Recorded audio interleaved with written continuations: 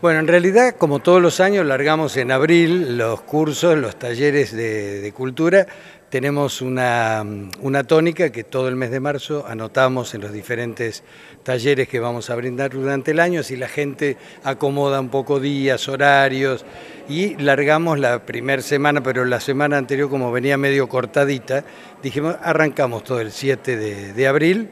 Y comenzamos hoy sí con el taller de crochet que está a cargo de Viviana Dinesta, hoy lunes. Y bueno, como verás hay mucha cantidad de alumnas y estábamos charlando en dividirlos en horarios y días, que va a ser los días lunes y los días jueves, en dos horarios también, tanto el lunes como el jueves, que ahí después Viviana te lo va a decir, y después eh, cinco y media está arrancando también Hoy Cándida Recalde con el taller de arte que desde el año pasado lo viene implementando para chicos de 6 a 12 años con muy buenos resultados. Y bueno, es lo que decía yo un poco al comienzo cuando hacía esta apertura con a todas las señoras, que es un poco nuestra forma de trabajar durante el año con profesores responsables que dan todo lo de cada uno lo que sabe, nadie se guarda nada, lo que queremos es ir preparando gente, si viene acá a tomar los cursos,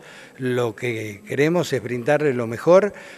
Por un lado, que se sientan cómodos, por otro lado, que el profesor y el alumno tengan esa química suficiente como para saber, pues mucha gente por ahí tiene unas expectativas falsas de algún tipo de taller y lo ve cuando empieza. Es lo mismo cuando elegimos una carrera y después de un año te das cuenta que no es lo tuyo. Bueno, esto es igual, por ahí la gente cree que es fácil y no, todas las cosas, o sea, nada es imposible, como lo decía Viviana hace un rato, pero se puede hacer. Lo que tiene que poner cada uno después es voluntad, ganas y sobre todo lo que le pedimos a la gente es la continuidad que vengan, que no falten, porque esto tiene un periodo de abril a noviembre con el receso de vacaciones y con este, después exposiciones, trabajos, eh, viajes, pueden, se pueden hasta organizar, como en el caso de ella, viajes a distintos lugares para ver eh, museos, exposiciones, de pronto el taller de ella quiere ir al,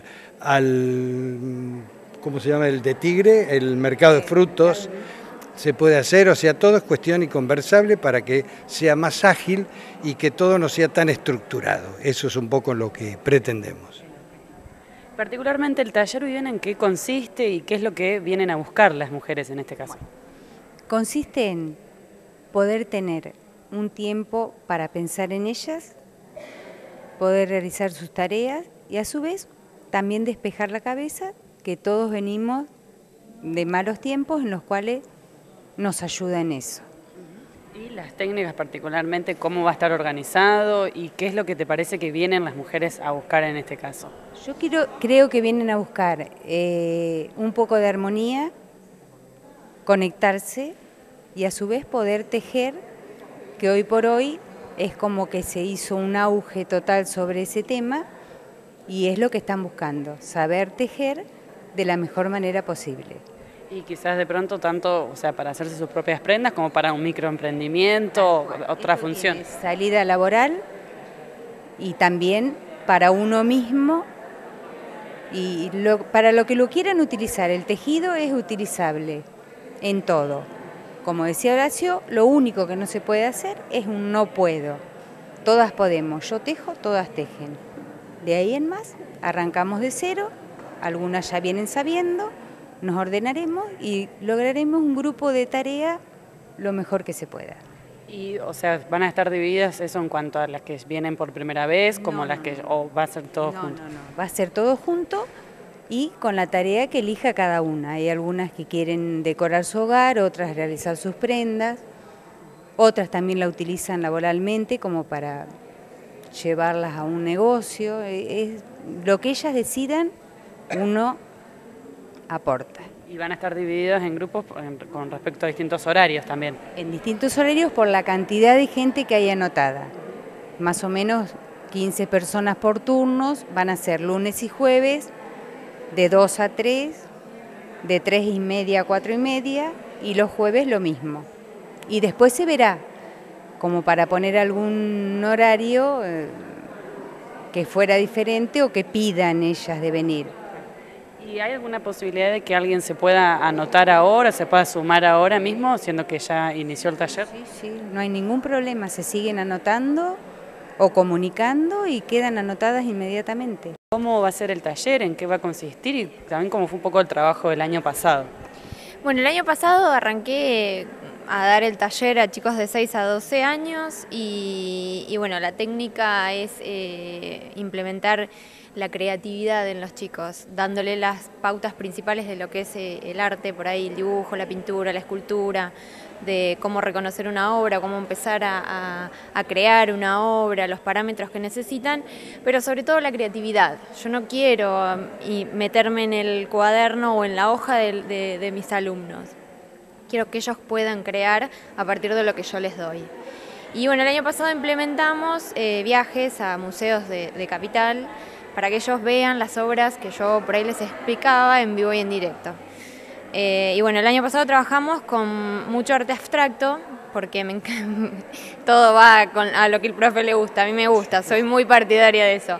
Igual este año el proyecto va a ser diferente, la idea es que ellos puedan reproducir obras maestras de Van Gogh, de Picasso, bueno, diferentes eh, artistas y principalmente artistas argentinos. Quiero que uno conozca la historia del arte argentino. Eh, y bueno, como, como, el año pasado hicimos un trabajo final con exposición de obras, hicieron un trabajo en conjunto, todos hicieron un mural que está ahí, después si quieren lo, lo ven. Eh, bueno, básicamente es eso a lo que apuntamos este año, también siguiendo haciendo algunos viajes y bueno, viendo qué, qué, presupuesto tenemos este año.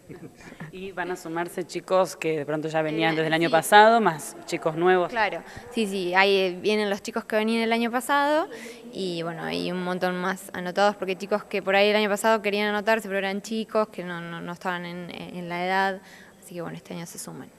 ¿Y cómo responden los chicos? ¿Qué es lo que has visto a lo largo de, todo el año pasado? La verdad que estoy muy contenta porque mm, me, yo me recibí hace muchos años y, di cuando empecé a dar clases en los colegios, en nivel me recibí, después estuve como 5 o 6 años sin dar clases.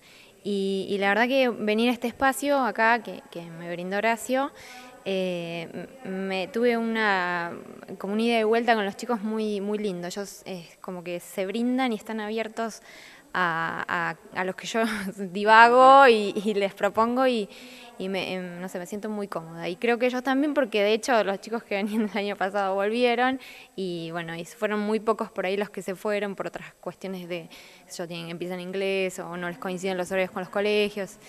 Y bueno, pero creo que están conformes con lo que les he brindado.